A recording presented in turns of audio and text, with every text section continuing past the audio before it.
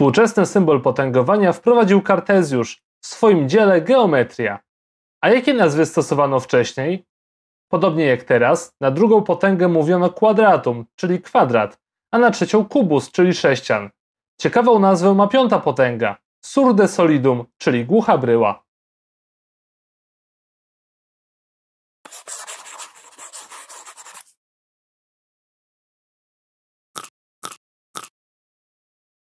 Przypomnijmy sobie, co wiesz o potęgach. Na pewno dobrze znasz potęgi o wykładniku naturalnym, na przykład 2 do kwadratu, czyli 4. Tak samo istnieją potęgi o wykładniku całkowitym ujemnym, przykład 2 do minus drugiej. Ile to wynosi? To to samo, co 1 druga do kwadratu, czyli 1 czwarta. Zobacz. Tak samo jak mamy liczby naturalne, tak mamy potęgę o wykładniku naturalnym. Mamy liczby całkowite, więc mamy też potęgę o wykładniku całkowitym. Oprócz liczb naturalnych i całkowitych możemy wyróżnić również ułamki, czyli liczby wymierne. Czy istnieje potęga o wykładniku niecałkowitym, na przykład 2 do potęgi jednej drugiej? Ile to może być? Wyobraźmy sobie, że mnożymy dwie takie liczby. 2 do jednej drugiej razy 2 do jednej drugiej. Mamy do czynienia z dwiema potęgami o takiej samej podstawie. Oczywiście chcielibyśmy, aby zachowywały się one analogicznie do potęg o wykładniku całkowitym. Czyli możemy dodać ich wykładniki. Jedna druga dodać jedna druga to oczywiście 1, czyli otrzymujemy 2 do pierwszej, czyli po prostu 2. Zauważ, że tutaj mnożymy przez siebie dwa razy identyczną liczbę. Czyli mówiąc inaczej, podnosimy 2 do potęgi jednej drugiej do kwadratu. Wiemy, że to równa się 2. Jak obliczyć ile to jest 2 do jednej drugiej? Musimy spierwiastkować dwójkę.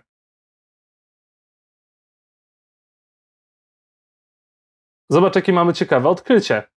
Okazuje się, że podnosząc liczbę do potęgi, która jest ułamkiem, otrzymujemy pierwiastek. W tym wypadku 2 do 1 drugiej to pierwiastek kwadratowy z 2. Ciekawe, prawda? A co jeżeli podnieślibyśmy dwójkę na przykład do potęgi 1 trzeciej? Jak myślisz, jaki pierwiastek otrzymamy?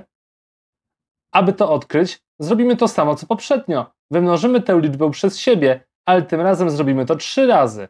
Dlaczego? Ponieważ w wykładniku mamy jedną trzecią. Ten iloczyn możemy zapisać w takiej postaci. Sumując wykładniki otrzymujemy 1, a 2 do pierwszej to 2. Tym razem możemy zapisać, że 2 do 1 trzeciej do potęgi trzeciej równa się 2. Jak w takim razie obliczyć 2 do 1 trzeciej? Musimy znowu spierwiastkować, ale tym razem będziemy mieć pierwiastek trzeciego stopnia, albo inaczej mówiąc pierwiastek sześcienny. I o to chodziło. 2 do potęgi 1 trzeciej to pierwiastek trzeciego stopnia z dwóch. Możesz podobny dowód wykonać dla dowolnej liczby będącej w podstawie i dla dowolnego wykładnika. Ogólną zasadę możemy zapisać w następujący sposób. a do potęgi 1 przez n to to samo, co pierwiastek n tego stopnia z a. Zróbmy kilka przykładów dla utrwalenia. Jak myślisz, czemu będzie równe 5 do potęgi 1 piątej? W naszym przypadku a równa się 5, natomiast n również równa się 5, czyli otrzymamy pierwiastek piątego stopnia z 5. A tutaj, jak sądzisz, pierwiastek szóstego stopnia, ponieważ mamy potęgę 1 szóstą, z 64. Czy to koniec? Zauważ, że 64 to to samo, co 2 do potęgi szóstej. Pierwiastek szóstego stopnia z 2 do potęgi szóstej to oczywiście 2, ponieważ potęgowanie i pierwiastkowanie są działaniami odwrotnymi. A 81 do potęgi 1 trzeciej? Wiadomo, pierwiastek trzeciego stopnia z 81. 81 możemy zaś zapisać jako 3 do potęgi czwartej. Dalej możemy to zapisać jako 3 do trzeciej razy 3.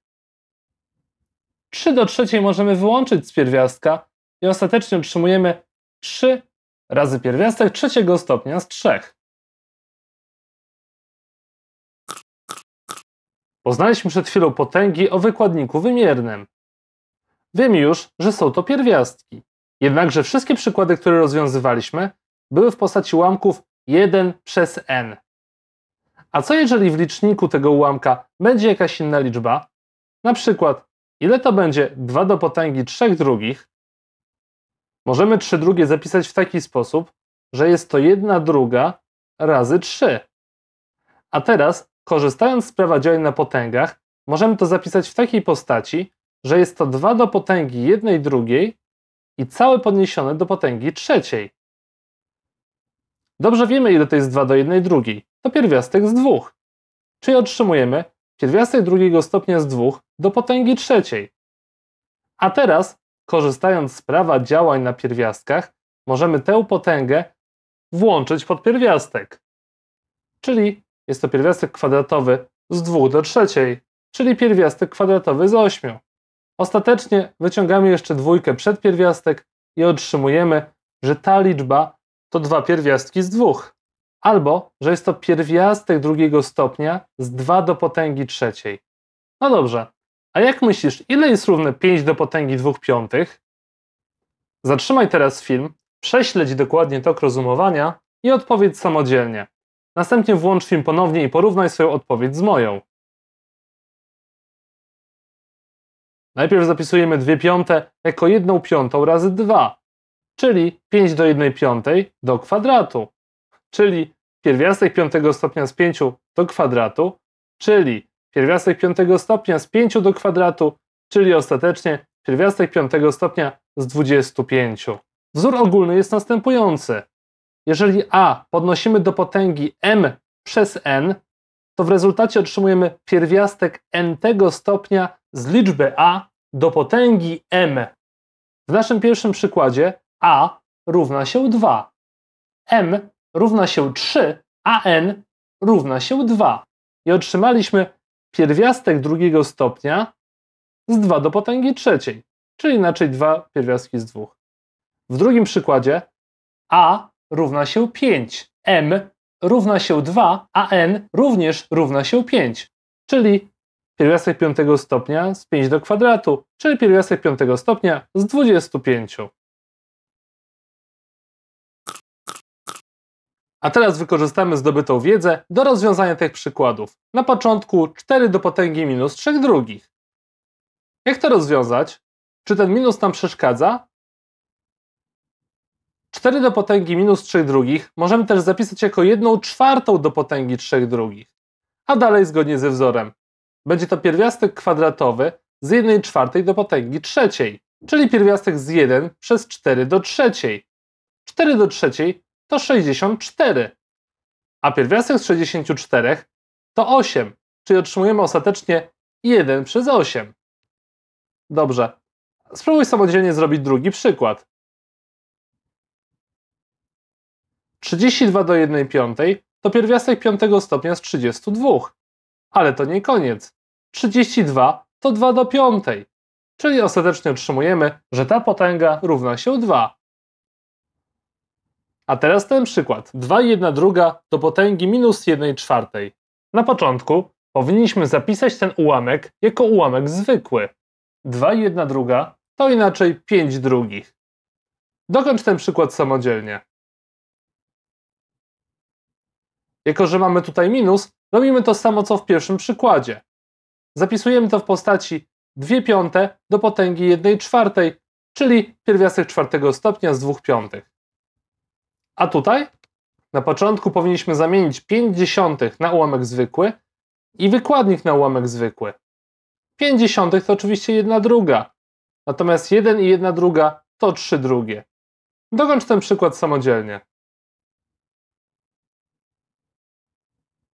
Będzie to pierwiastek kwadratowy z jednej drugiej do sześcianu, a jedna druga do sześcianu to jedna ósma. Otrzymujemy pierwiastek z jednej ósmej. Pozostałe przykłady zrób w całości samodzielnie.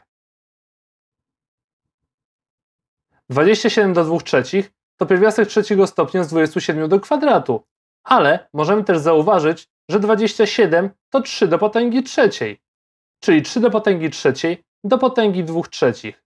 Mnożymy wykładniki i ostatecznie otrzymujemy 3 do kwadratu, czyli 9. A 16 do minus 5 czwartych? Też możemy zauważyć, że 16 to 2 do czwartej, czyli mamy 2 do czwartej do potęgi minus 5 czwartych, czyli 2 do minus 5, czyli 1 32. I ostatni przykład. 2 do potęgi 60. Zamieniamy wykładnik na ułamek zwykły i liczymy dalej. 2 do 3 piątych to pierwiastek 5 stopnia z 2 do 3, czyli pierwiastek 5 stopnia z 8. Gratulacje!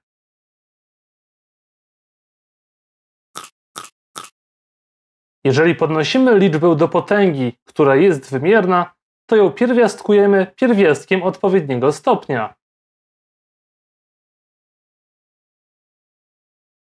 Zobaczyłeś właśnie kolejny film o potęgach i pierwiastkach. Zachęcam Cię także do zobaczenia innych filmów z tej playlisty, a także do polubienia naszego fanpage'a na Facebooku Pistacja Matematyka.